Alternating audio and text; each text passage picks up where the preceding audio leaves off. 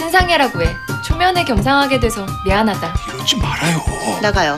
당장 헤어져. 그래 헤어져 검찰에서 나왔습니다 왜? 내가 왜? 너 지금 어디야?